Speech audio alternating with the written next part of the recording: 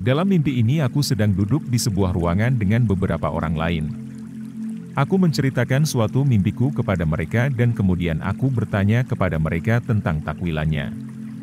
Akan tetapi mereka tidak dapat memberitahu tafsir yang tepat kepadaku tentang mimpi tersebut. Dalam mimpi itu, aku meninggalkan rumah sekitar jam 11 pagi. Intensitas sinar matahari sangatlah tinggi tetapi aku harus mencapai suatu tempat dalam keadaan apa pun. Umat muslimin juga melihatku dalam perjalananku, hanya saja sangat banyak dari mereka yang mengabaikanku sama sekali dan sangat sedikit orang yang bergabung denganku. Dan sehingga sore hari datang, kemudian petang dan lalu tiba malam. Pada malam hari, kami mencapai sebuah rumah dan kemudian setelah malam yang panjang dan gelap, suatu pagi yang baru bermula. Setelah mendengar mimpi ini mereka mengatakan bahwa apakah yang bisa menjadi makna dari mimpi ini, mereka memberitahu kepadaku tafsir dari mimpi tersebut tetapi aku tidak puas dengan takwilannya. Sehingga satu orang menyebutkan mimpiku yang lain dan memberitahu kepadaku tafsirnya, tetapi aku mengatakan kepadanya, ada banyak mimpi, tetapi kita tidak bisa yakin tentang takwilan mereka. Kemudian aku pergi dari sana dan aku melihat bahwa seseorang sedang menggambar sesuatu di dinding.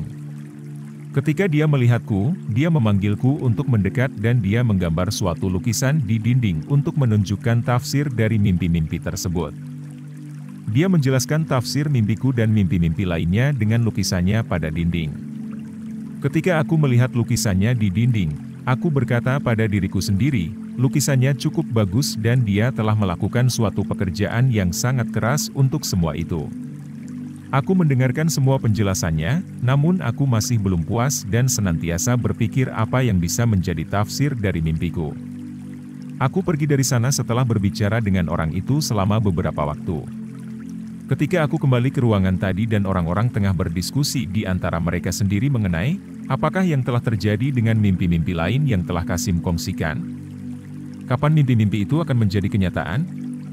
Orang-orang tersebut cukup khawatir tentang mimpi-mimpi itu. Seseorang mengatakan, kita harus bertanya kepada orang istimewa tersebut tentang mimpi-mimpi ini, karena ia mungkin dapat menjelaskan tafsirnya, dan juga memberitahu kami kapan mimpi-mimpi itu akan menjadi kenyataan. Setelah aku mendengarkan tafsiran-tafsiran mereka, maka tiba-tiba aku mengetahui tentang tafsir dari mimpi-mimpi tersebut, Seolah-olah Allah subhanahu wa ta'ala telah menerangi hatiku dengan tafsir mimpi-mimpi itu. Dan aku berkata kepada mereka, dengarkanlah aku dengan seksama, aku akan memberitahu kalian tentang tafsir dari mimpi ini.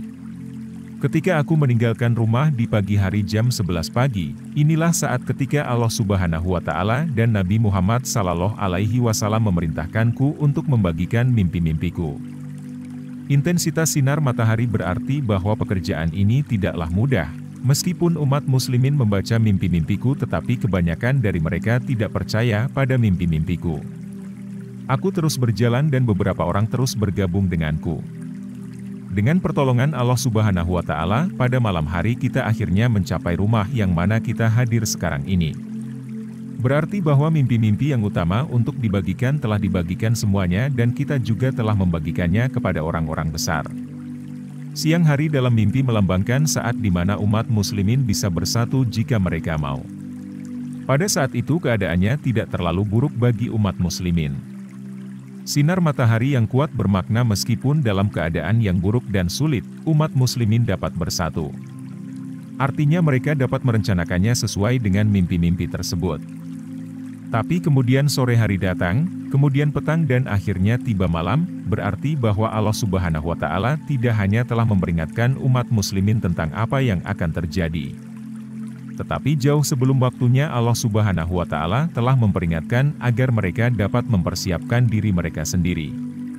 Tetapi umat Islam telah menyia-nyiakan waktu itu dan tidak melakukan apa pun. Sekarang tiba waktu malam, yang berarti waktu untuk persatuan telah hilang dan kaum muslimin telah terkepung dari segala arah.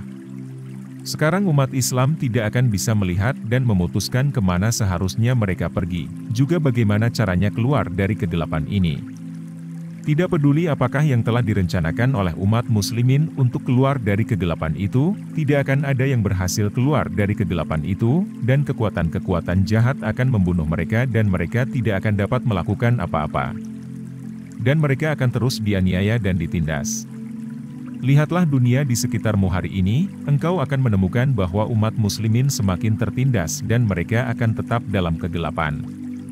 Ketika umat muslimin tertindas maka setelah itu, akan tiba saatnya ketika Allah subhanahu wa ta'ala akan memerintahkanku, Kasim, pergilah dan ubah kegelapan dunia ini menjadi terang dengan izin dan pertolonganku. Maka dengan pertolongan Allah subhanahu wa ta'ala, aku akan mengakhiri kegelapan dunia ini, dan dunia akan menjadi terang sehingga tidak akan ada cahaya matahari yang menyengat maupun dingin.